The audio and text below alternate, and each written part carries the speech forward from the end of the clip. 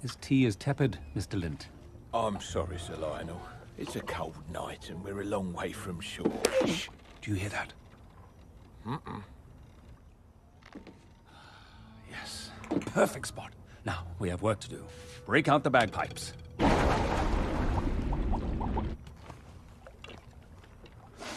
Me, la, me, me, me, me, me. Very good. Okay, here we go.